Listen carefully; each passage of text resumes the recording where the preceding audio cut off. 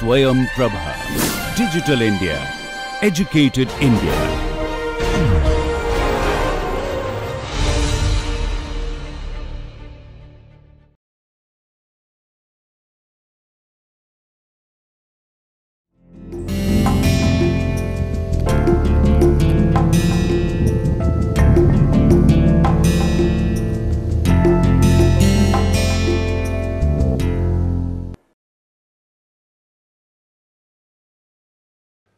Well, uh, students, my name is Dr. Ajay Kumar Singh, Assistant Professor, Faculty of Law, BHU. यह law of crime का मेरा तेरहवा thirteen lecture है this is my lecture number thirteen and topic is maintenance भरण पोषण संबंधी प्रावधान यह आपराधिक विधि के अंतर्गत मेरा थर्टीनथ लेक्चर है जो मैंने अ, दंड प्रक्रिया संहिता के अंतर्गत भरण पोषण संबंधी प्रावधान को धारा 125 से लेकर के 128 तक के विषय में मैंने इसको सेलेक्ट किया है। मेंटेनेंस एक लीगल ऑब्लिगेशन है या मेंटेनेंस के प्राव सीआरपीसी के अंतर्गत इस मेंटेनेंस को क्यों रखा गया? And obligation to maintain the dependent ये जो हमारा ऑब्लिगेशन है, ये इससे संबंधित प्रावधान सीआरपीसी के अंतर्गत क्या क्या है? और इसके लिए पात्रता क्या क्या कंडीशंस हैं, वो मैंने धारा 125 से लेकर 128 तक के अंतर्गत बताने का इस व्याख्यान के अंतर्गत मैं पूरा प्रयास करूँगा।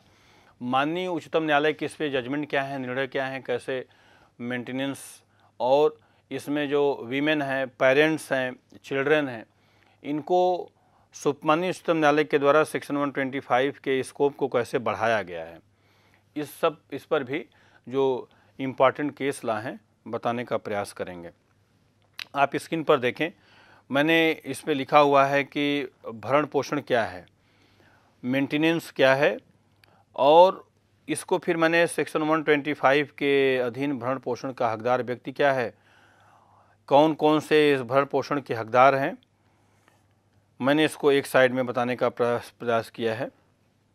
आप इसको देखें कि मेंटेनेंस शब्दावली का यद्यपि परिभाषा सीआरपीसी की धारा 125 में नहीं दी गई है, परंतु मेंटेनेंस को हम केवल भरण पोषण को शाब्दिक अर्थ में लेते हैं। भरण पोषण से तात्पर्य उन व्यक्ति के मानव जीवन के लिए उन बुनियादी आवश्यकताओं, सुविधाओं से है जो व्यक्ति के लिए रोटी, कपड़ा और मकान जैसे बुनियादी सुविधाएँ जिसके अभाव में व्यक्ति का जीवन निर्वाह या व्यक्ति के जीवित होने की कल्पना नहीं की जा सकती है। तो मेंटेनेंस जो है, भरण पोषण मानव के लिए, किसी भी व्यक्ति के लिए, किसी भी व्यक्ति के जीवन के लिए वे आधारभूत सुविधाएँ हैं जिनके अभाव में व्यक्ति का जीवित रहना असंभव है। जैसे कि हम रोटी, कपड़ा और मकान की बात करते हैं। राइट टू फ़ूड फ़ूड का है शेल्टर है, आश्रय होना चाहिए। अब देखते हैं कि ये जो मेंटेनेंस भरण पोषण की बात है, यह लीगल ऑब्लिगेशन है क्राइटेरिया क्या है, इसको विधिक प्रावधान के अंतर्गत देखने का प्रयास करेंगे।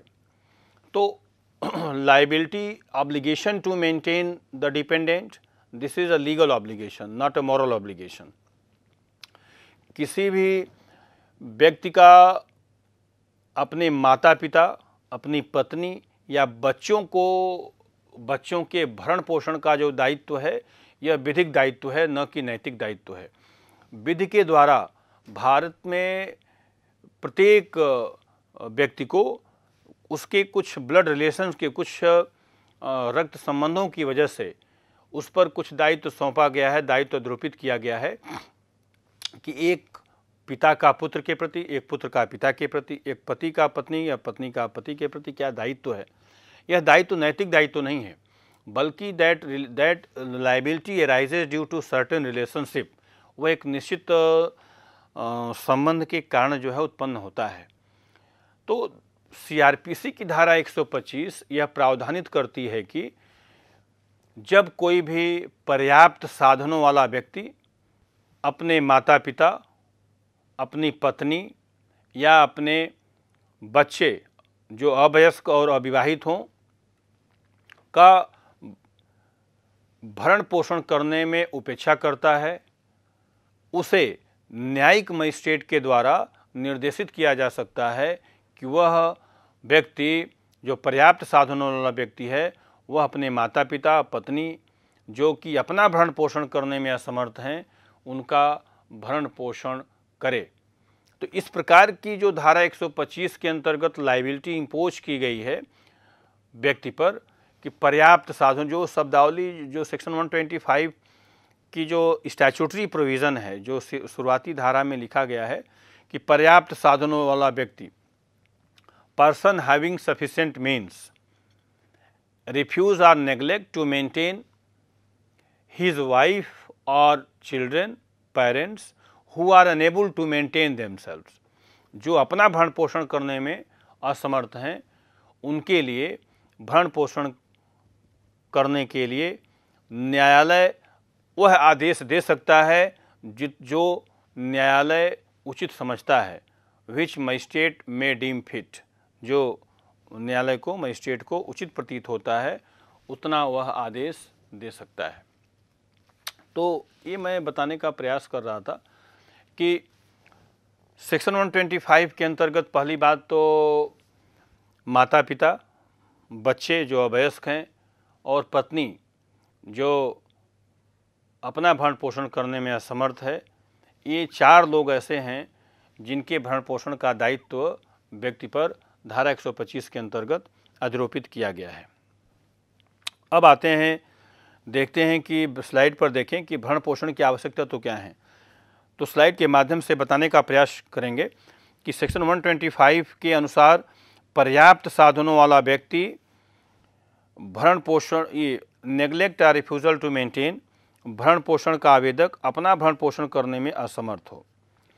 अभी तीन इंपॉर्टेंट इसके एलिमेंट हैं। पहला क्या? कि जो 125 के अंतर्गत भरण पोषण प्रदान करने की जो बात कही गई है हम उस व्यक्ति को तभी न्यायालय मजिस्ट्रेट कंपेल कर सकेगा जब व्यक्ति के पास पर्याप्त साधन है, पर्याप्त साधनों वाला व्यक्ति। यदि if a person is not having sufficient means if any person who doesn't have sufficient means to maintain his wife or children then he can not be compelled by magistrate under section 125 CrPC तो धारा 125 के अंतर्गत किसी भी पत्नी या बच्चे के द्वारा अपने पति या पिता से भरण पोषण का दावा करने के लिए यह आवश्यक है कि न्यायालय के समक्ष यह साबित किया जाए कि वह व्यक्ति पर्याप्त साधन वाला है और पर्याप्त साधनों वाला, पर्याप्त साधन रहते हुए भी वह अपनी पत्नी की उपेक्षा कर रहा है। यदि पर्याप्त साधन नहीं है तो then then section 125 CrPC can not be invoked 125 CrPC का लाभ नहीं लिया जा सकता है। तो सेक्शन 125 सीआरपीसी के अंतर्गत मेंटेनेंस प्राप्त करने के लिए यदि पत्नी न्यायालय में आती है तो that wife will have to establish before the court कि husband her husband is having sufficient means उसके पति के पास पर्याप्त साधन है, एक। और दूसरा, वह जो अप्लीकेंट है, जो पत्नी है, वह अपना भरण पोषण करने में असमर्थ है। यदि वह अपना भरण पोषण करने में समर्थ है तो सेक्शन 125 उसकी कोई मदद नहीं करता। दो बातें हो गई। तीसरा कि वह अपनी पत्नी को जो उस भरण पोषण करने में असमर्थ है, उसको मेंटेनेंस प्रोवाइड करने में उपेक्षा करता है या इनकार करता है। ये तीन तत्व न्यायालय के समक्ष जैसे ही साबित किया जाएगा किसी भी वीमेन के द्वारा, इस विवाहिता स्त्री के द्वारा या विवाहित या डिवोर्स तलाकशुदा या विवाह विच्छेदित स्त्री के द्वारा न्यायिक मजिस्ट्रेट प्रथम वर्ग की कोर्ट में जैसे तीन तत्व तो साबित किए जाएँगे कि उसका पति पर्याप्त साधनों वाला व्यक्ति है, उसके पास पर्याप्त संसाधन है। दूसरा, कि वह पत्नी विवाहिता होते हुए भी उसका पति उसको भरण पोषण प्रदान नहीं कर रहा है और पत्नी अपना भरण पोषण करने में असमर्थ है। तीसरा, तीसरी कंडीशन कि पति के द्वारा उसकी उपेक्षा की जा रही है। बार बार मांगने पर भी पति उसको आर्थिक मदद या जो बेसिक एमिनिटीज़ जो बेसिक रिक्वायरमेंट हैं, रोटी, कपड़ा और मकान, वो उपलब्ध नहीं करा रहा है। तीन तत्व जैसे ही साबित होंगे सेक्शन 125 के अंतर्गत मजिस्ट्रेट उस स्त्री के प्रति स्त्री के पक्ष में दैट मजिस्ट्रेट में pass a decree in favour of that female by directing the respondent husband to provide maintenance to his wife magistrate के द्वारा उस पति के, पति को निर्देशित करते हुए कि वह अपनी पत्नी को भरण पोषण पर्या, उपलब्ध कराए, जितना मजिस्ट्रेट उचित समझे। तो एक क्राइटेरिया जो सबसे पहली मैंने बताई आपको कि क्या क्राइटेरिया सेक्शन 125 एक के अंतर्गत है, वह है कि having sufficient means if person is not having sufficient means पर्याप्त संसाधन उसके पास नहीं है तो उसको विवश नहीं किया जा सकता है। कंपेल नहीं किया जा सकता है। ये बात बिल्कुल क्लियर हो जानी चाहिए। दूसरी बात कि जो स्त्री है, जो विवाहिता स्त्री, जो मैरिड वीमेन है who has come before the court उसको भी न्यायालय में साबित करना होना चाहिए कि उसके पास पर्याप्त साधन नहीं है। वह अपना भरण पोषण करने में असमर्थ है। दूसरी, तीसरा कि वह उसकी उपेक्षा कर रहा है। अब इसको आप स्क्रीन के माध्यम से देखें कि जो पत्नी है wife she can not get maintenance under section 125 CrPC ये उसका भरण पोषण प्राप्त नहीं कर पाएगी जब धारा 125 चार के अंतर्गत उसका मामला आता हो। स्लाइड के माध्यम से मैंने बताने का प्रयास किया है कि जो पत्नी जारता की स्थिति में है एडल्ट्री कर रही है हम्म, जारता इंग्लिश वर्ड है एडल्ट्री यदि पत्नी के द्वारा जारता किया जा रहा है, जारता की स्थिति में है, बिना पर्याप्त कारण के, बिना पर्याप्त कारण के वह पृथक रह रही हो। पत्नी आपसी सहमति से पृथक न रह रही हो, बाइगेमी में न हो, पत्नी के द्वारा दुविवाह न किया गया हो। यदि कोई भी विवाहिता स्त्री जो जारता की स्थिति एडल्ट्री का अपराध की है तो सी में लूज हर राइट उसको उसका पति भरण पोषण देने से इनकार कर सकता है। अर्थात किसी भी विवाहिता स्त्री का भरण पोषण प्राप्त करने के लिए उसका यह न्यायालय के समझ साबित, अगर पति के द्वारा यह साबित कर लिया जाए कि पत्नी उसकी एडल्ट्री कमिट करती है तो देन पति, पत्नी के द्वारा भरण पोषण प्राप्त नहीं किया जा सकेगा। ये पहले कानून, अभी हाल ही में माननीय उच्चतम न्यायालय के द्वारा यह निर्णित किया गया कि कि भारत में जारता का जो अपराध है, यह जारता जो सेक्शन 497 आईपीसी के अंतर्गत एडल्ट्री को जो एक अपराध बनाया गया है दैट इज़ अनकॉन्स्टिट्यूशनल अब इस केस के प्रकाश में in the light of this judicial pronouncement you will have to see what is the relevance of this adultery in order to get maintenance from husband जारता को एडल्ट्री को supreme court के द्वारा यह कहा गया कि यह संविधान के आर्टिकल इक्कीस का वायलेशन है। किसी भी पत्नी को यह राइट है कि वह किसके साथ सेक्सुअल इंटरकोर्स करती है। If she is not satisfied with her husband तो उसको प्रत्येक स्थिति में अपने उसी पति के साथ जिसके साथ वो नहीं रहना चाहती है, वह विवश करने के, वह उसे विवश नहीं किया जा सकता है। तो माननीय उच्चतम न्यायालय के द्वारा एक केस में कहा गया कि जोसेफ साइन के केस में कि एडल्ट्री जो सेक्शन 497 आईपीसी है it is that is violation of article 21 of the Indian constitution और वह संविधान के आर्टिकल इक्कीस का उल्लंघन करता है और वो किसी भी स्त्री को हर परिस्थिति में जीने के लिए विवश करता है। अतः यह असंवैधानिक माना जाना चाहिए।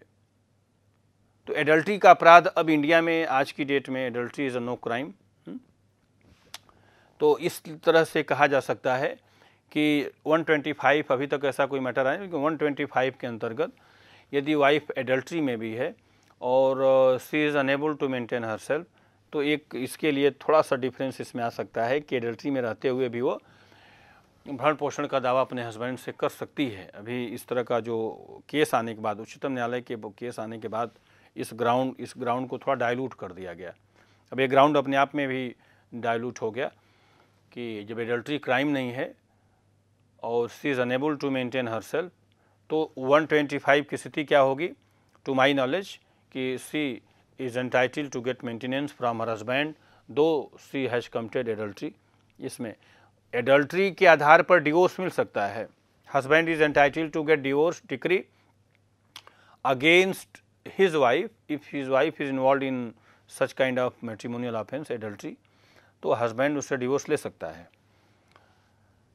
तो इसको उस परिप्रेक्ष्य में देखना है। दूसरा, यदि बिना पर्याप्त कारणों के पृथक रह रही हो अगर कोई भी पत्नी बिना if she is living separately without sufficient reason तो ऐसी स्थिति में भी उसे भरण पोषण प्राप्त करने का अधिकार नहीं है। क्योंकि जो the sole purpose of the basic object of marriage is to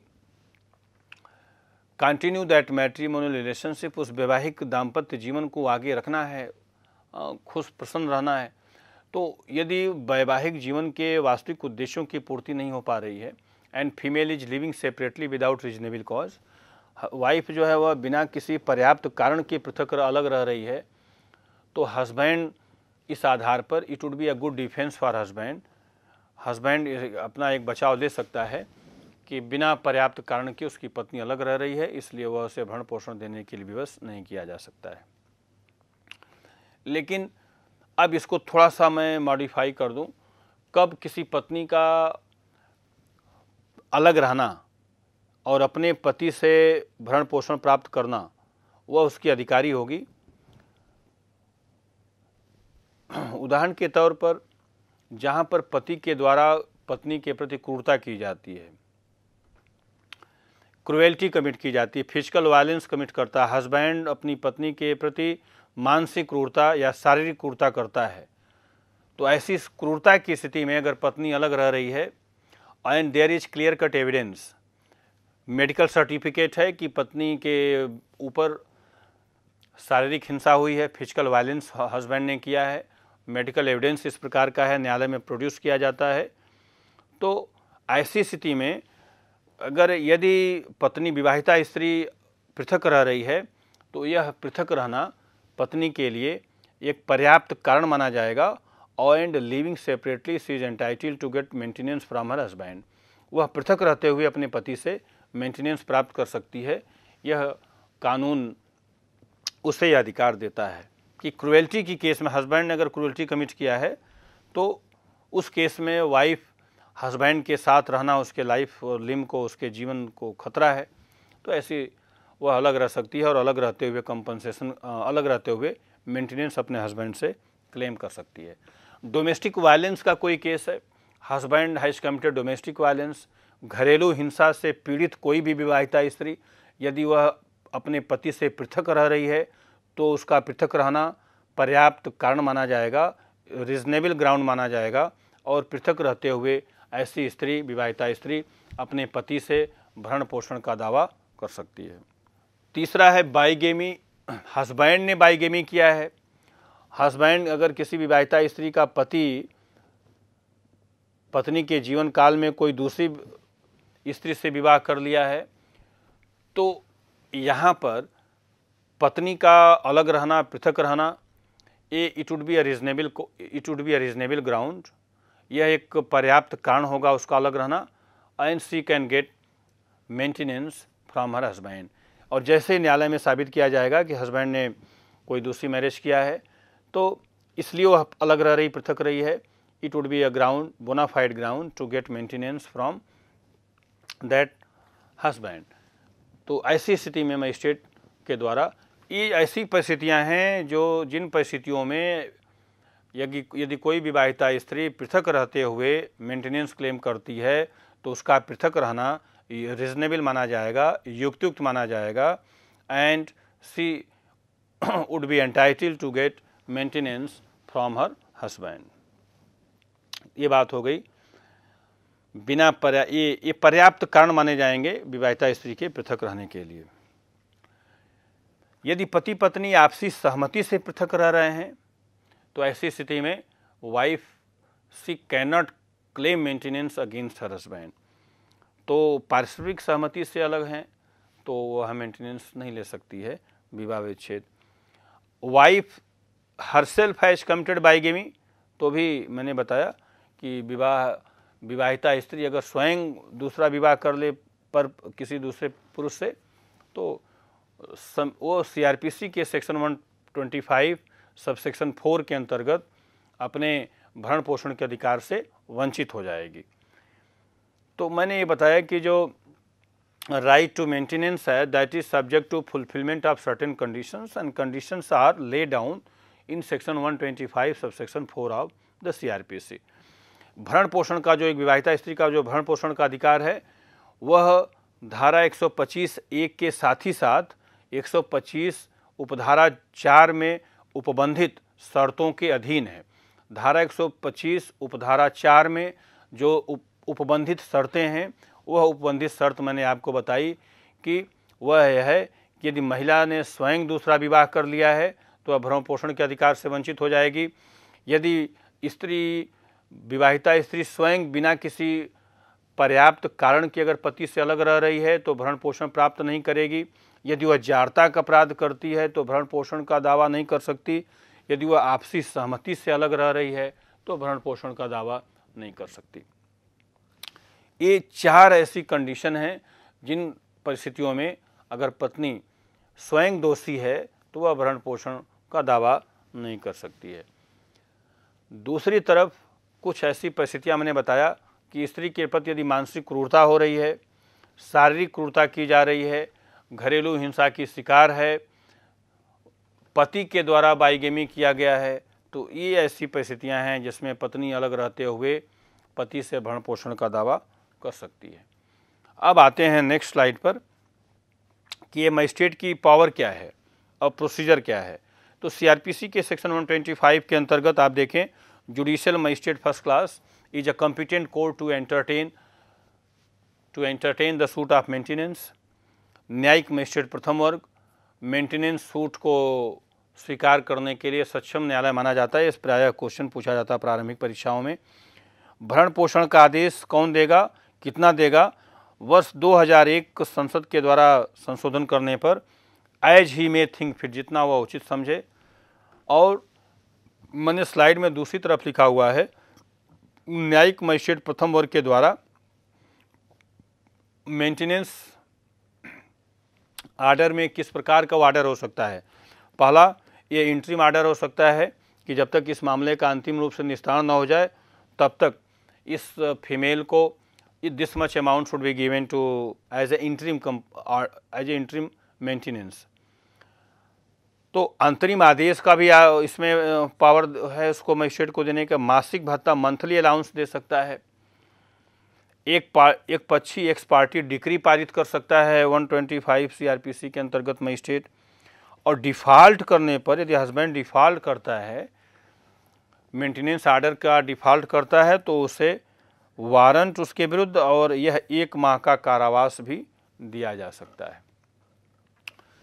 तो मैंने बताया कि सीआरपीसी की धारा 125 के अंतर्गत न्यायिक मजिस्ट्रेट प्रथम वर्ग सशक्त है मेंटेनेंस सूट को स्वीकार करने के लिए।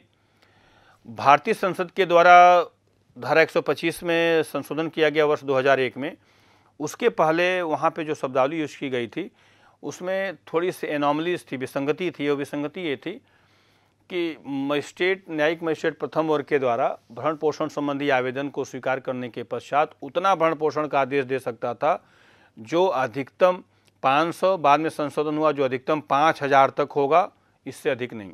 तो ये भी पाँच हज़ार रुपया इन रीजनेबल नहीं लग रहा था। अब वर्ष 2001 में संसद ने संशोधन करके वहाँ पर एक शब्दावली जोड़ दिया कि जितना न्यायिक मजिस्ट्रेट प्रथम वर्ग उचित समझे, उतना भरण पोषण का आदेश दे सकता है। अर्थात, अब ये मजिस्ट्रेट का डिस्क्रिप्शन हो गया और ये स्वाभाविक भी है कि भरण पोषण का आदेश हर मामले में, हर केस में, केस टू केस वेरी कर सकता है। हो सकता है कि एक गरीब जो विवाहित परिवार है, उसमें जो पत्नी है, उसके लिए भरण पोषण का धनराशि अमाउंट कुछ हो सकता है और एक जो रिच फैमिली है, उसके लिए मेंटेनेंस का अलाउ। तो कंसिडरिंग कोर्ट क्या है, न्यायिक magistrate judicial magistrate consider while deciding the amount of maintenance may consider the relevant factor वह जो रेलिवेंट फैक्टर हैं इकोनॉमिक कंडीशन है फीमेल की, उसके कंडीशन को ध्यान में रखते हुए, और हस्बैंड जो who is having sufficient means उसको ध्यान में रखते हुए ही may decide the amount of maintenance कि ज़्यादा है एडिक्वेट इनएडिक्वेट है, ये मजिस्ट्रेट के द्वारा डिसाइड किया जा सकता है। तो अब ये प्रारंभिक परीक्षाओं में भी क्वेश्चन पूछे जाते हैं कि किस संशोधन के द्वारा ये जोड़ा गया और न्यायिक मजिस्ट्रेट प्रथम वर्ग भरण पोषण संबंधी आदेश कितना दे सकता है? जितना वह उचित समझे, अधिकतम पाँच हज़ार रुपये प्रतिमाह, अधिकतम छः हज़ार, इस प्रकार की शब्दावली का प्रयोग किया गया था। तो अब ये संशोधन के माध्यम से ये बात क्लियर हो गई कि न्यायिक मजिस्ट्रेट प्रथम वर्ग उतना धनराशि भरण पोषण के रूप में दे सकता है, जितना वह उचित समझे। दूसरी बात भरण पोषण के आदेश में न्यायिक मजिस्ट्रेट प्रथम वर्ग इस बात के लिए निर्देशित कर सकता है पति को कि वह मासिक भत्ता मंथली अलाउंस के रूप में इतनी धनराशि पत्नी को तब तक देता रहे जब तक कि इस मामले में अंतिम रूप से निस्तारण, इसका मेंटेनेंस डिसाइड ना हो जाए। कारण उसका केवल और केवल यह है कि सीआरपीसी के अंतर्गत इस प्रावधान को लाने का मतलब ये था, यद्यपि यह देखने का, देखने से लगता है कि civil suit type, civil nature का मामला लगता है। लेकिन सीआरपीसी पूरे दंड प्रक्रिया संहिता के प्रावधान जो है, वे प्रोसीजरल लॉ की बात करते हैं, प्रक्रियात्मक विधि की बात करते हैं। मात्र धारा 125 सीआरपीसी है, जो सब्सटेंटिव लॉ के, जो सारभूत विधि सब्सटेंटिव लॉ के नेचर को दर्शित करती है, क्योंकि इसमें पक्षकारों के राइट्स और ऑब्लिगेशन को डिसाइड करती है धारा 125 इसलिए सेक्शन 125 सीआरपीसी यह सब्सटेंटिव इसका जो नेचर है that is a kind of substantive law ये सब्सटेंटिव लॉ की इसका नेचर है। तो या तो judicial magistrate first class monthly allowance दे सकता है, मासिक भत्ता डिसाइड कर सकता है, अंतरिम आदेश दे सकता है इंटरिम रिलीफ दे सकता है, अंतरिम अंतोष की बात भी इसमें की गई है। यदि हस्बैंड बार बार सुनवाई बार बार डेट आने पर भी हस्बैंड जो है वह न्यायालय में उपस्थित नहीं होता। तो ऐसी स्थिति में न्यायिक मजिस्ट्रेट प्रथम वर्ग के द्वारा आवेदक के पक्ष में एक्स पार्टी डिग्री पारित करते हुए एक पक्षी कार्रवाई, एक पक्षी आदेश पारित किया जा सकता है। और यदि मेंटेनेंस आर्डर पास होने के पश्चात भी हस्बैंड मेंटेनेंस नहीं देता है तो उसके उस आदेश के अनुपालन में न्यायिक मजिस्ट्रेट प्रथम वर्ग ऐसे पति को एक माह का अधिकतम कारावास भी दे सकता है। ये भी इसमें प्रावधान 125 के अंतर्गत किया हुआ है। अब बात करते हैं भरण पोषण के आदेश में परिवर्तन। प्रश्न है कि क्या मेंटेनेंस आर्डर में कोई चेंज हो सकता है? तो मैंने इसको स्लाइड के माध्यम से बताने का प्रयास किया है कि देखिए, अल्ट्रेशन इन अलाउंसेस जो भत्ता है, उस भत्ते में कैसे अल्ट्रेशन हो सकता है, चेंज हो सकता है, पति की आर्थिक स्थिति के आधार पर स्वयं की प्रेरणा पर कोर्ट कर सकता है या आवेदक के आवेदन पर। तीन कंडीशन है। पहला तो ये क्लियर हो गया कि क्या भरण पोषण के आदेश में परिवर्तन हो सकता है तो आंसर विल बी अफर्मेटिव हाँ ये ऐसा हो सकता है, भरण पोषण के आदेश में परिवर्तन न्यायालय कर सकती है। कैसे? पति की आर्थिक स्थिति में यदि कोई परिवर्तन हुआ है पहले हस्बैंड सपोज़ कि क्लास टू एम्प्लाई था और वो क्लास वन एम्प्लाई हो गया है। तो ऐसी स्थिति में पत्नी कह सकती है कि पहले उसका पति जो है कि इनकम का स्रोत जो है कम था, अब उसके पति की आय अधिक हो गई है। तो इस आधार पर उसका भी मेंटेनेंस बढ़ना चाहिए और इस तरह मेंटेनेंस अलाउंस में भी वृद्धि enhancement she can also file a suit कैसे हो सकता है, ये मैंने स्क्रीन पर आपको देखें, तीसरा लिखा है कि या तो कोर्ट सुमोटो कर सकता है। या यह अप्लीकेंट के आवेदन पर हो सकता है। अप्लीकेंट आवेदन दे दे कि now her husband has become class one officer and so that is why her amount of maintenance should be enhanced so she can also file a suit for enhancement of maintenance allowance तो न्यायालय के समक्ष वह भरण पोषण जो भत्ता है उसके बढ़ाने के लिए या वृद्धि के लिए अलग से सेपरेट सूट फ़ाइल कर सकती है, पृथक वाद दायर कर सकती है तो भरण पोषण के आदेश में परिवर्तन किया जा सकता है, कोर्ट के द्वारा हो सकता है? हम्म? अब इसको देखते हैं कि इसमें इंपॉर्टेंट केस लॉस क्या हैं मैंने स्लाइड पर देखे, मैंने इसमें केस लिखा Mohammad Ahmad Khan versus Shah Bano hmm? Mohammad Ahmad Khan versus Shah Bano A I R nineteen Supreme Court. अब मैंने इसको हाईलाइट किया है, बहुत संक्षेप में इसके फैक्ट्स को लिखे हैं कि मोहम्मद अहमद का विवाह शाहबानों से वर्ष 1932 में हुआ। 1975 में हस्बैंड के द्वारा डिवोर्स दे दिया गया, तलाक दे दिया गया। मध्य प्रदेश हाई कोर्ट ने कुछ डिसीज़न लिया, बाद में मामला सुप्रीम कोर्ट के समक्ष आया। तो सबसे पहले एक एक करके इसको डिसाइड, डिस्कस करते हैं। मोहम्मद अहमद खान वर्सेस साबानों की केस बहुत ही इंपॉर्टेंट महत्वपूर्ण केस है सेक्शन 125 सीआरपीसी पर। न केवल 125 सीआरपीसी में महत्वपूर्ण केस है, बल्कि यह मुस्लिम लॉ के अंतर्गत भी डिवोर्स में बहुत ही इंपॉर्टेंट केस है। वास्तव में इसमें क्या घटना घटित हुई? कि मोहम्मद अहमद खान का विवाह शाहबानों से वर्ष 1932 में हुआ था 1932 में, जिसके पश्चात इनके पाँच बच्चे हुए और कुछ पारिवारिक कारणों से मोहम्मद अहमद खान के द्वारा अपनी पत्नी शाहबानो बेगम को घर से निकाल दिया गया 1975 में। So she was drove away from her matrimonial home उसको अपने पति के द्वारा घर से बाहर कर दिया गया। Then she file a petition in in the court family court Indore की न्यायालय में उसने न्यायिक मजिस्ट्रेट प्रथम वर्ग की कोर्ट में मेंटेनेंस का सूट फ़ाइल किया। जब मेंटेनेंस का सूट फ़ाइल किया गया then Mohammad Ahmad he stated before the court कि उसके द्वारा तीन हज़ार रुपये की धनराशि डाबर के रूप में न्यायालय में जमा की गई। तथा पंद्रह सौ रुपये उसे मेंटेनेंस के रूप में ड्यूरिंग द पीरियड ऑफ़ इद्दत उसके द्वारा ऑलरेडी भुगतान कर दिया गया है। इसलिए अब वह अपनी पत्नी का भरण पोषण, अपने पत्नी का भरण पोषण मेंटेनेंस नहीं दे सकता।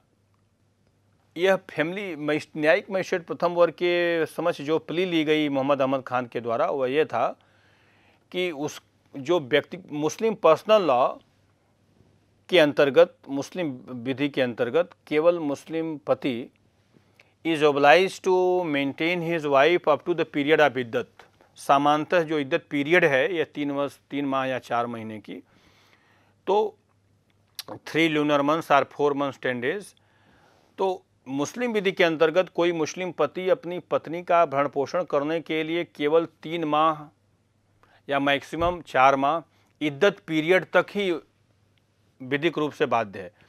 इद्दत पीरियड समाप्ति के पश्चात मुस्लिम पति अपनी पत्नी का भरण पोषण करने के लिए बाध्य नहीं है।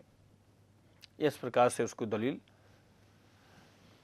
परंतु सेक्शन 125 सीआरपीसी के अंतर्गत न्यायिक मजिस्ट्रेट प्रथम वर्ग के द्वारा निर्णित किया गया कि शाहबानों को उसके पति के द्वारा इद्दत अवधि के समाप्ति के पश्चात भी भरण पोषण प्राप्त करने का अधिकार है।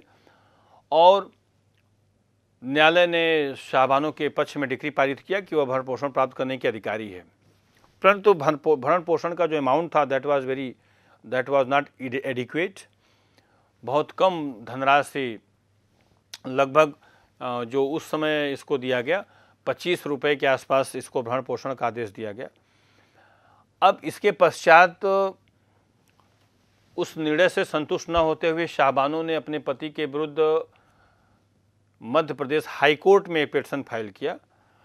मध्य प्रदेश हाईकोर्ट में एक याचिका प्रस्तुत की, किस लिए? कि उसकी जो धनराशि, भरण पोषण की धनराशि को बढ़ा दिया जाए, बहुत कम धनराशि है, उससे उसके बच्चों और उसका पालन पोषण नहीं हो सकता है। मध्य प्रदेश हाईकोर्ट ने उस भरण पोषण की धनराशि को इनएडिक्वेट समझते हुए, अपर्याप्त मानते हुए वन सेवेंटी नाइन रुपीज़ एक सौ उन्यासी रुपये प्रति माह के आधार पर बढ़ा दिया।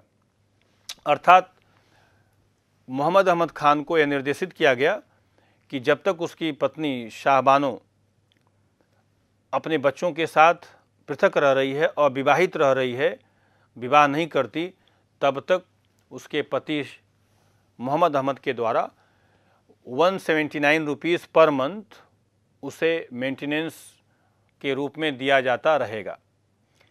इस निर्णय से, हाईकोर्ट के उस निर्णय से मोहम्मद अहमद जो है संतुष्ट नहीं था। And she and you see then Mohammad Ahmad he went in appeal in Supreme Court he file उसने उस हाई कोर्ट के निर्णय के विरुद्ध अपील माननीय उच्चतम न्यायालय में फ़ाइल किया। सुप्रीम कोर्ट के समक्ष यह मामला जब अहमद खान बस साहबानों के रूप में आया तो उच्चतम न्यायालय को यह पहला अवसर प्राप्त हुआ, यह निर्णित करने का, कि महत्वपूर्ण जो प्रश्न थे उच्चतम न्यायालय के समक्ष, वो यह थे कि क्या मुस्लिम पति अपनी पत्नी को इद्दत की अवधि के, इद्दत की अवधि तक ही भरण पोषण करने के लिए बाध्य है या उसके पश्चात भी? दूसरा, क्या धारा 125 के अंतर्गत कोई मुस्लिम स्त्री आजीवन अपने पति से भरण पोषण प्राप्त करने की अधिकारी है।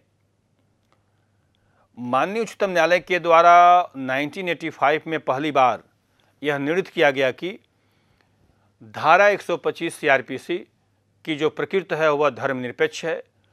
धारा 125 सीआरपीसी भारत के सभी धर्मों पर बिना जातिगत और धार्मिक भेदभाव के सभी व्यक्तियों पर समान रूप से लागू होता है।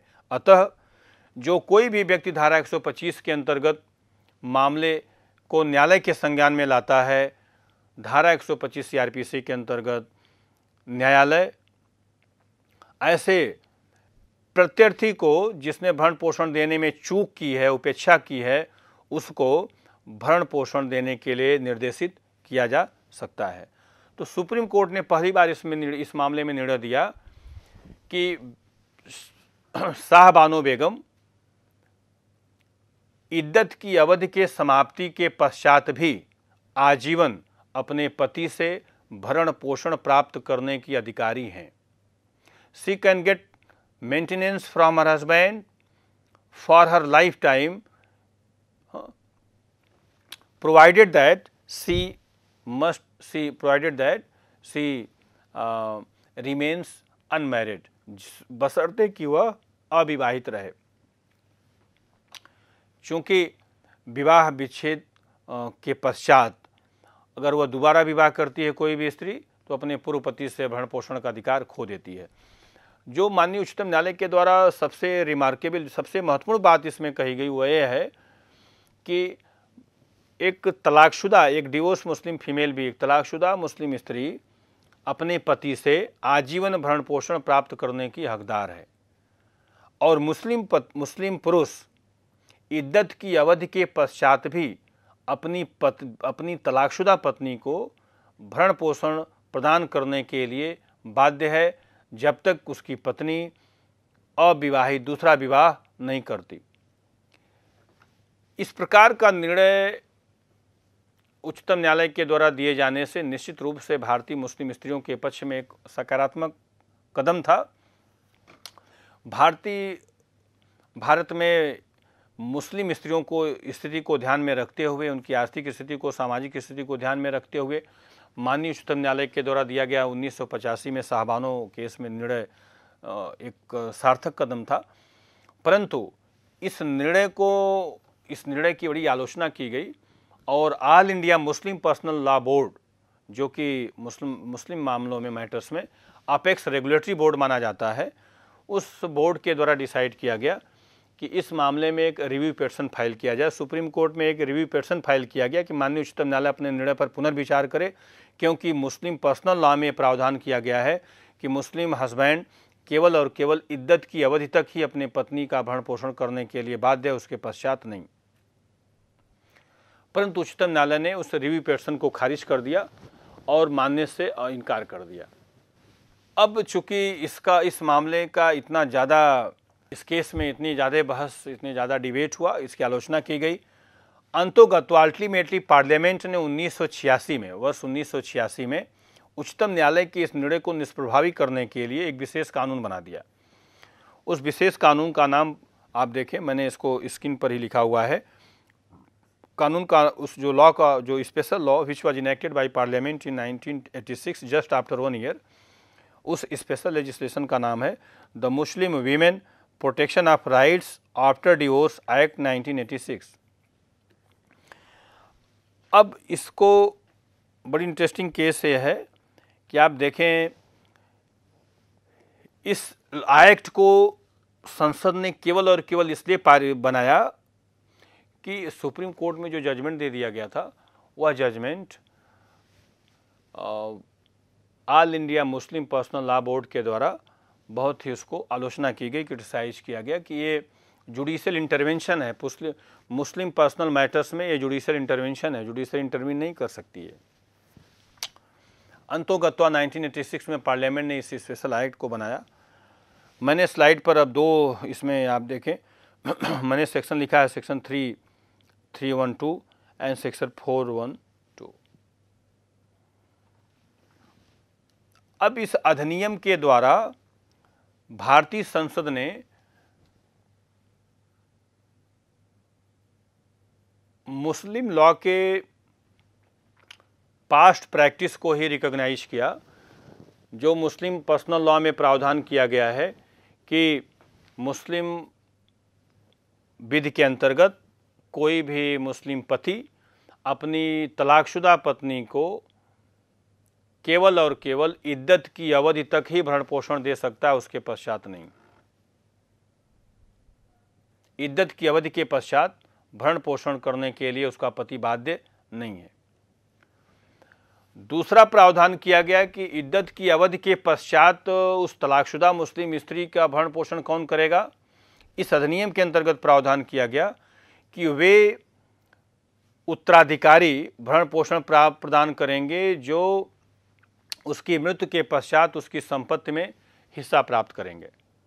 अर्थात उसके बच्चे, बच्चों के न रहने पर या ऐसी ऐसी विवाह, ऐसी तलाकशुदा स्त्री जिसके बच्चे न हों, अथवा बच्चे उसका भरण पोषण करने में असमर्थ हों, निर्धन हैं, गरीब हैं, वे स्वयं उसका भरण पोषण नहीं कर सकते तो ऐसी स्थिति में अंतोगत्वा अल्टीमेटली भरण पोषण करने का दायित्व स्टेट वक्फ बोर्ड पर होगा राज्य वक्फ बोर्ड पर होगा। अब यहाँ पर इस केस के माध्यम से जो चूँकि साबानो केस में सुप्रीम कोर्ट के द्वारा निर्णित किया गया कि एक मुस्लिम पति अपनी विवाह, अपनी तलाकशुदा पत्नी को आजीवन जब तक वह जीवित रहेगी उसका भरण पोषण करने के लिए बाध्य है। और इस कानून में जो 1986 का कानून बनाया गया संसद के द्वारा, उसमें पास्ट प्रैक्टिसेस को रिटेन करते हुए, जो मुस्लिम लॉ में पास्ट प्रैक्टिस है कि Muslim husband is oblige to maintain his wife only up to the period of इद्दत that is generally three or four months तीन और चार महीने तक ही भरण पोषण देगा, उसके पश्चात वह भरण पोषण देने के लिए बाध्य नहीं है। उसी बात को भारतीय संसद ने कानून बना करके मान्यता प्रदान कर दी कि अब उसके पश्चात जो है उसका हस्बैंड, उसके हस्बैंड की कोई लाइबिलिटी नहीं है। तो तीन यहाँ पे इस अधिनियम में तीन स्टेजेज बताई गई। पहले, पहला कि Muslim wife is entitle to get maintenance from from her husband up to the period of इद्दत। इद्दत की अवधि तक ही एक तलाकशुदा मुस्लिम स्त्री अपने पति से भरण पोषण प्राप्त कर सकती है, उसके पश्चात नहीं। दूसरा प्रावधान इसमें किया गया, दूसरा स्टेज है कि ऐसी तलाकशुदा मुस्लिम स्त्री अपना भरण पोषण अपने उन बच्चों से, उन रिश्तेदारों से प्राप्त करेगी जो निकट संबंधी या रिश्तेदार उसकी मृत्यु के पश्चात उसकी संपत्ति में उत्तराधिकार प्राप्त करेंगे। उत्तराधिकारी न होने की स्थिति में या उत्तराधिकारी के उत्तराधिकारियों की आर्थिक अक्षमता के आधार पर, निर्धनता, गरीबी के आधार पर यदि वे भरण पोषण देने में असमर्थ हैं, निर्धनता के कारण तो ऐसी स्थिति में तीसरा जो स्टेप है, वह है स्टेट वक्फ बोर्ड के द्वारा भरण पोषण प्राप्त कर सकती है। ये प्रावधान इस अधिनियम के अंतर्गत किया गया। अब इससे संबंधित एक और महत्वपूर्ण केस माननीय उच्चतम न्यायालय के समझ आया कि जो पार्लियामेंट ने एक्ट बनाया, क्या ये तीनों स्टेप क्रमशः पालन करना है? पहले वह हस्बैंड से क्लेम करे, फिर अपने बच्चे से क्लेम करे। यदि उसके रिलेटिव्स जो है निर्धनता के कारण उसको भरण पोषण देने में असमर्थ हैं, तभी वह स्टेट वर्क बोर्ड पे जाए या सीधे स्टेट वर्क बोर्ड पे जाए, उसको लगता है कि उसके हस्बैंड केवल इद्दत पीरियड तक देंगे, तीन महीने तक भरण पोषण देंगे।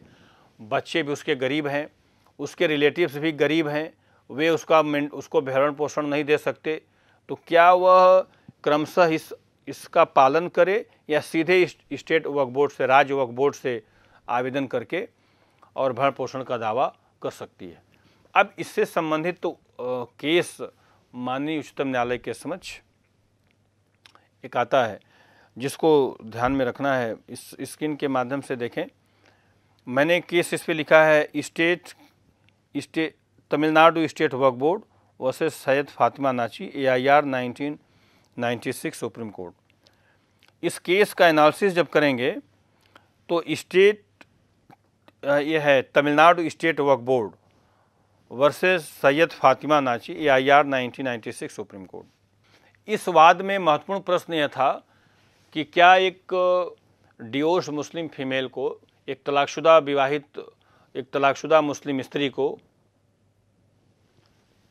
इस अधिनियम के अंतर्गत भरण पोषण प्राप्त करने के लिए अपने पति, अपने निकटतम रिश्तेदारों से नकारात्मक आदेश प्राप्त करने के पश्चात ही स्टेट वक्फ बोर्ड में जाए या न्यायिक मजिस्ट्रेट को यदि ये लगता है कि एप्लीकेशन अगर अप्लीकेंट के द्वारा दिया जाता है कि हस्बैंड और उसके निकटतम, उसके रिश्तेदार, उसके बच्चे यदि भरण पोषण करने में असमर्थ हैं तो ऐसी स्थिति में स्टेट वक्फ बोर्ड को ही भरण पोषण दे देना चाहिए।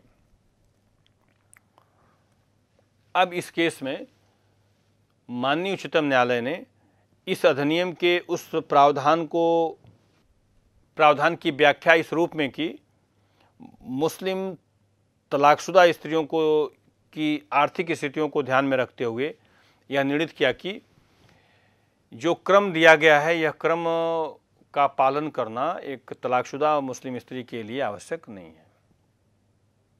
क्या?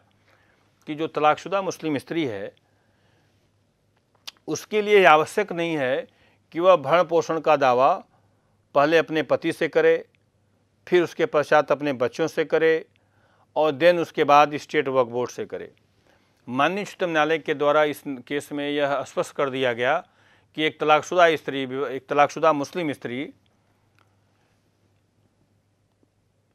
के लिए यह आवश्यक नहीं है कि वह अपने पति और बच्चों से नक, बच्चों के विरुद्ध न्यायालय से नकारात्मक आदेश प्राप्त करे यह साबित करे शपथ पत्र के माध्यम से एफिडेविट के माध्यम से साबित करे न्यायालय में कि उसके पास कोई रिश्तेदार नहीं है, कोई बच्चे नहीं हैं। या न्यायालय में पहले यह साबित करे कि उसके बच्चे आर्थिक रूप से इतने सक्षम नहीं हैं कि उसको भरण पोषण कर सकें। तभी राज्य वक्फ बोर्ड उसमें भरण पोषण उसका करेगी। ऐसा नहीं। सुप्रीम कोर्ट के द्वारा निर्णित किया गया कि जहाँ पर तलाकशुदा मुस्लिम स्त्री शपथ पत्र के माध्यम से न्यायिक मजिस्ट्रेट को का समाधान कराती है कि उसके पति अथवा उसके रिश्तेदार आर्थिक रूप से सक्षम नहीं हैं। उसकी भरण पोषण करने के लिए तो न्यायिक मजिस्ट्रेट राज्य वक्फ बोर्ड को निर्देशित करते हुए उस महिला के पक्ष में डिक्री पारित करेगा कि स्टेट वक्फ बोर्ड इस मामले में उस स्त्री को, तलाकशुदा मुस्लिम स्त्री को भरण पोषण प्रदान करेगा। तो अब ये बात क्लियर हो गई कि जहाँ पर न्यायिक मजिस्ट्रेट प्रथम वर्ग के कोर्ट में ही यदि कोई तलाकशुदा मुस्लिम स्त्री शपथ पत्र के माध्यम से न्यायालय में यह शपथ पत्र दे दे एफिडेविट दे दे कि उसके पति या उसके हस्बैंड उसका भरण पोषण करने में असमर्थ हैं तो ऐसी स्थिति में स्टेट वर्क बोर्ड उसको भरण पोषण प्रदान करेगा। तो मैं समझता हूँ कि इस इसके पश्चात आप सभी लोग साहबानो केस और ये सैयद फातिमा का केस के पश्चात आप सभी भरण पोषण से संबंधित कानून के विषय में परिचित हुए होंगे। अब इसके पश्चात आते हैं कि जो मेंटेनेंस का प्रावधान धारा 125 से लेकर के धारा 128 तक में किया गया है, उसमें सेक्शन 127 में इस बात को स्पष्ट कर दिया गया है कि जहाँ पर किसी स्त्री के द्वारा किसी व्यक्तिगत विधि पर्सनल लॉ के अंतर्गत कोई धनराशि प्राप्त की गई है, जैसे मेहर है, डावर है तो डावर मुस्लिम विधि के अंतर्गत पति के द्वारा पत्नी को विवाह के समय दिया गया एक उपहार स्वरूप, स्त्री के गरिमा का सम्मान करते हुए उसके प्रति दिया गया एक प्रकार से गिफ्ट को हम डावर बोलते हैं, मेहर बोलते हैं। तो मुस्लिम पति के द्वारा पत्नी को दिया गया डावर इस मेंटेनेंस के अंतर्गत कवर नहीं किया जाएगा। इस बात को आप स्पष्ट रूप से समझ लें कि अगर जहाँ पर किसी मुस्लिम स्त्री ने विवाह के समय अपने पति से कोई डावर अमाउंट रिसीव किया है तो that dower amount can not be considered as a part of maintenance maintenance amount and dower both are different thing ऐसी स्थिति में जो डावर का अमाउंट है और मेंटेनेंस का अमाउंट है, दोनों अलग अलग बातें हैं। इसको एक नहीं किया जा सकता है। तो डॉवर का जो अमाउंट है, वह एक लाइबिलिटी हस्बैंड के ऊपर अपने वाइफ को देने के लिए, वो मुस्लिम पर्सनल लाइन पोस्ट करता है। और जो मेंटेनेंस का जो राइट है राइट टू मेंटेनेंस वह मुस्लिम फीमेल का एक सेपरेट एक इंडिपेंडेंट राइट है। तो अगर डावर अमाउंट भी अगर उसने रिसीव किया है पर्सनल मुस्लिम पर्सनल लॉ के अंतर्गत तो भी ऐसी मुस्लिम स्त्री अपने भरण पोषण की प्राप्त करने की अधिकारी है और उसको इस आधार पर वंचित नहीं किया जा सकता कि उसने कोई धनराशि मुस्लिम पर्सनल लॉ के अंतर्गत। तो ये बात सेक्शन 127 और 128 में स्पष्ट कर दिया गया कि किसी भी स्त्री के द्वारा अपने पर्सनल लॉ के अंतर्गत स्वीकार किए गए किसी भी धनराशि को भरण पोषण से पृथक रखा जाएगा मेंटेनेंस से अलग रखा जाएगा। और जैसा कि मैंने आपको बताया, सुप्रीम कोर्ट का केस भी इस पर है कि मेंटेनेंस अलाउंस और डावर दोनों अलग अलग हैं। हस्बैंड कभी भी इस बात को न्यायालय के समझ डिफेंस के रूप में नहीं ले सकता कि उसने शादी के समय, विवाह के समय ही इतना धनराशि उसने डावर के रूप में, मेहर के रूप में वाइफ को ऑलरेडी ही दे दिया है, इसलिए वह मेंटेनेंस अमाउंट नहीं दे सकता, भरण पोषण, गुजारा भत्ता उसको, अपनी पत्नी को नहीं दे सकता। यह प्रकार इस प्रकार की डिफेंस हस्बैंड के द्वारा स्वीकार नहीं की जाएगी। तो यह हो गया धारा 125 के अंतर्गत 125 के अंतर्गत। किसी भी पर्याप्त साधनों वाले व्यक्ति के द्वारा धन, भरण पोषण करने में, उपेक्षा करना, लापरवाही करनी, वह ऐसे व्यक्ति को जो अपना भरण पोषण करने में असमर्थ है, उसे भरण पोषण प्राप्त करने का, आर्थिक सहायता प्राप्त करने का अधिकार, उसका स्टैचुटरी राइट है, धारा 125 के अंतर्गत, धारा 125 के अंतर्गत। अब जैसा कि मैंने बताया कि इस मेंटेनेंस राइट को 125 सीआरपीसी दंड प्रक्रिया संहिता के अंतर्गत क्यों इस अधिकार को रखा गया? जबकि मेंटेनेंस का मामला, भरण पोषण का मामला जो है सिविल प्रकार का है, सिविल नेचर का है और एक क्रिमिनल मैटर में क्यों लाया गया? तो उसका उसका केवल और केवल एक ही मकसद है कि क्रिमिनल लॉ में लाने से यहाँ पर स्पीडी जस्टिस होगी। यह त्वरित न्याय स्पीडी जस्टिस शीघ्रतर न्याय उपलब्ध कराने के लिए यह प्रावधान दंड प्रक्रिया संहिता सीआरपीसी के अंतर्गत लाया गया है। और यदि ये सिविल मामलों में, सिविल मामले का पार्ट बनाया गया होता तो आप समझ लीजिए कि सिविल मामलों में वर्ष वर्ष लग जाते हैं। पहले राइट डिसाइड होने के लिए, पहले डिसाइड होता कि विवाह हुआ या नहीं हुआ तो ऐसी स्थितियों में डेलीबरेटली यह जो मेंटेनेंस राइट है, यह right to get maintenance financial assistance यह डेलीबरेटली क्रिमिनल लॉ का पार्ट बनाया गया, आपराधिक विधि का भाग बनाया गया, जिससे कि पीड़ित को एग्रीव्ड को त्वरित न्याय स्पीडी जस्टिस उपलब्ध कराई जा सके। तो यह हो गया इसका जस्टिफिकेशन कि मेंटेनेंस को सीआरपीसी के अंतर्गत क्यों रखा गया, जबकि यह सिविल मामला लगता है, यह दीवानी मामला लगता है, इसको वहाँ रखना चाहिए था। अब इसके अंतर्गत, जैसा कि मैंने आपको दो केस बताया, मोहम्मद अहमद बसे साहबानो इसके पश्चात धारा 125 मेंटेनेंस को लेकर के जो एक सबसे बुनियादी प्रश्न आता है कि धारा 125 में शुरुआत में लिख दिया गया है कि अगर व्यक्ति पर्याप्त साधनों वाला है, यदि पर्सन के पास, किसी भी व्यक्ति के पास पर्याप्त संसाधन नहीं है तो धारा 125 उसकी मदद नहीं करेगा एग्रीव्ड की। दो कंडीशन मैंने आपको बताई कि सेक्शन 125 उसी व्यक्ति की मदद करेगा जो अपना भरण पोषण करने में असमर्थ है एक, और दूसरा, उसको ये साबित करना होगा कि पर्याप्त साधनों वाला व्यक्ति, संसाधनों वाला व्यक्ति भरण पोषण जानबूझकर उपेक्षा कर रहा है या उपलब्ध नहीं करा रहा है।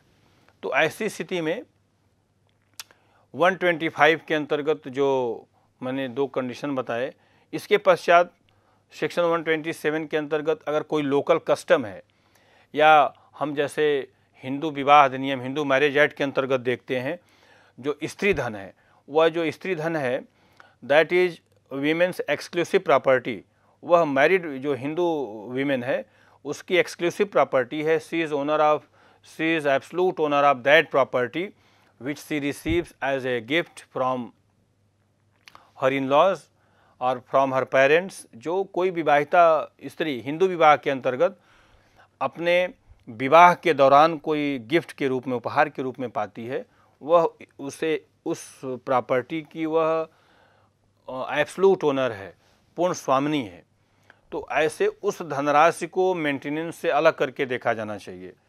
कभी भी उसका हस्बैंड ये नहीं कर सकता कि whatever amount which his wife has received as a token of respect as a gift at the time of marriage should also be considered as integral part of maintenance so he is not bound to pay that amount maintenance to his wife जो उसने कोई भी हिंदू पति maintenance suit के दौरान न्यायालय में यह बचाव नहीं ले सकता कि उसकी पत्नी ने जो कुछ भी विवाह के समय गिफ्ट के रूप में धनराशि प्राप्त की है, वह भी भरण पोषण का भाग माना जाना चाहिए, अंग माना चाहिए।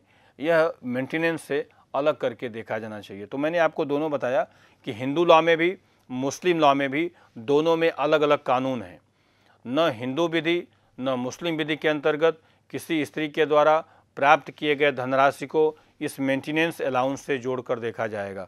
मेंटेनेंस अलाउंस धारा 125 के अंतर्गत एक अलग रेमेडी है, एक अलग उपचार है और किसी भी मुस्लिम स्त्री या हिंदू स्त्री का धनराशि का प्राप्त किया जाना विवाह के समय वह एक अलग इशू है, एक अलग मुद्दा है। दोनों को अलग अलग करके देखा जाना चाहिए। उसका मेंटेनेंस से क्लब करना ज़रूरी नहीं है। ये मैंने आपको इसलिए बताया कि सेक्शन 127 में एक ग्राउंड दिए गए हैं कि अगर पति के द्वारा इस प्रकार का तर्क न्यायालय के समझ लिया जाता है, कि डिफेंस लिया जाता है तो पत्नी इस आधार पर न्यायालय में कर सकती है किस प्रकार के प्रावधान एग्जम्पन स्वयं स्टैचूट में दिए गए हैं, कानून में दिए गए हैं कि इन इन इन परिस्थितियों में कोई भी हिंदू पत्नी या मुस्लिम पत्नी जो कुछ भी पैसा प्राप्त करती, धनराशि प्राप्त करती है, उसको हस्बैंड मेंटेनेंस के रूप में ट्रीट नहीं कर सकता, भरण पोषण के रूप में आर्थिक सहायता के रूप में ट्रीट नहीं कर सकता। तो इसको अलग करके मेंटेनेंस में देखना है। दूसरी बात है कि यदि मेंटेनेंस मंथली अलाउंस मानसिक मासिक भत्ते के रूप में या इंटरिम अंतरिश के रूप में जो धारा 125 में कोई मजिस्ट्रेट ने किसी महिला के पक्ष में मेंटेनेंस ऑर्डर दिया है फाइनल ऑर्डर होने में, अंतिम आदेश आने में इस धनराशि को जो जो महीने की धनराशि है, उसके अंतिम मेंटेनेंस से डिडक्ट किया जाता है सेट ऑफ़ किया जा सकता है। इसलिए ये ध्यान देने की बात है। तो मैंने आपको इस मेंटेनेंस के अंतर्गत जो बताने का प्रयास किया भरण पोषण के लिए।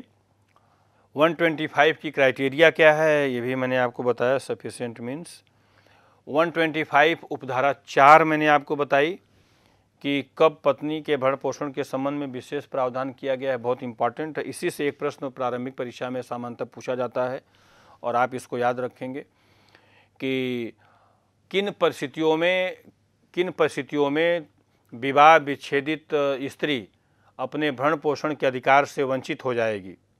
वो परिस्थितियाँ वही होती हैं जो धारा 150 उपधारा चार में वर्णित हैं, जो मैंने अभी जस्ट इसके पहले किया कि अगर उसने बाईगेमी स्वयं पत्नी ही दूसरा विवाह कर ले, स्वयं पत्नी के द्वारा ही कोई फ़िज़िकल वायलेंस हस्बैंड के अगेंस्ट किया गया है तो वह, लेकिन